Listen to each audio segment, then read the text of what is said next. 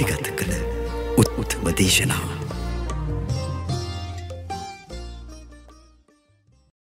මේතා ප්‍රශ්නේ මේ අමෘතයේ කුමන හෝ ආකාරයට මිනිස්යාට අනුභව කළ හැකිද කියලා ප්‍රශ්නයක් මේකත් මෙහෙමයි. යම්කිසි මනුස්ස කයක් අරන් දෙව්ලොවට ගියොත් මනුස්ස කය දේවත්වයට අනුව පරිවර්තනය වෙනවා. දෙව්ලෝ තියෙන අමෘතයක් මෙහාට ගන්න ක්‍රමයක් තිබුණොත් ඒ ගිය කෙනෙක් හරි අරන් ආවෝ. ඒක මිනිස්යාට ගැලපෙන විදිහට පරිවර්තන වෙනවා. දැන් පාසුකූල චීවර වලට ගන්න එක කොටසක් තමයි දෙවියන් දෙන වස්ත්‍ර.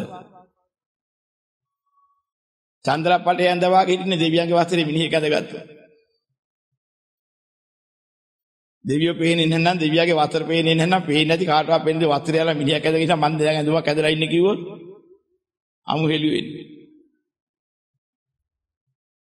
ඒ වෙනාලට වෙන්නා තියනවා නේද? දෙවියන් දෙන වස්ත්‍රේ පාංශුකූල ජීවරයට ගන්න පුළුවන් කියලා.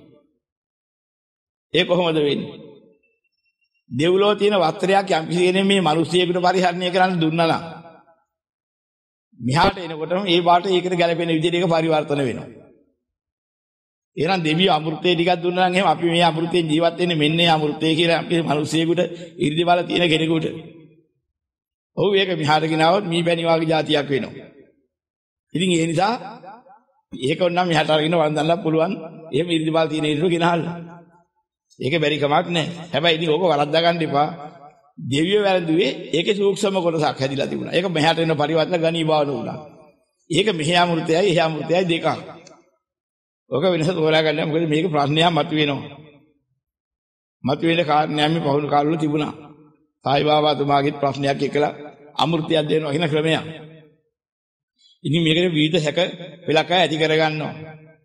නෑ එහෙ තියෙන ආහාරයක් හෝ මෙහාට ගෙනාවොත් එහෙ තියෙන ඇඳුම් පැළඳුම් මම මෙහාට ගෙනාවොත් ඒක මෙහාට එනවා මෙහි තියෙන தත්ත්වයට පරිවර්තනය වෙනවා. මේ තියෙන දෙයක් ඒ පැත්තට යවුවොත් ඒක පරිවර්තනය වෙනවා එහාට යනකොට.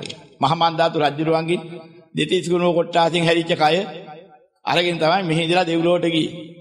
තාවතින්සියට යනකොට දිව්‍ය කායයකට පරිවර්තන වුණා කියලා පෙන්නනවා. එහෙනම් මෙහාට එන රාජ්‍යයක් මනුෂ්‍ය කායට ආපහු පරිවර්තන වුණා. ඉතින් එහෙම ක්‍රමයක් තියෙනවා. නිසා දෙව්ලෝ තියෙනවා දෙව්ලෝට අනුකූලයි මෙහි තියෙනවා මෙහාට අනුකූලයි. එහෙ යමක් මෙහාට යම් කිසි අභිඥාලාභී කරි ගෙනාවොත් ඒක මෙහෙට අනුකූල විදිහට සකස් වෙනවා.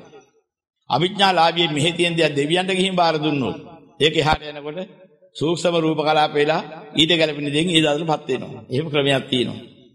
මෙයා තින් ලෝක විශ්ය අචින්තයයි මේ අචින්ත ප්‍රශ්න මේවා පටලවා ගන්න එපා. මෙතෙක් දහම් ඇහු සෑම සියලු දෙනාම අප්‍රමාදව මේ දහම් තුලින් ලෝකේ බලාපොරොත්තු වෙන්න එපා. නිවන බලාපොරොත්තු වෙන කටයුතු කළා අප්‍රමාද නිවන් දකින්න අදිෂ්ඨාන කරගන්න සෑම සියලු දෙනාට යහපතක් වේවා.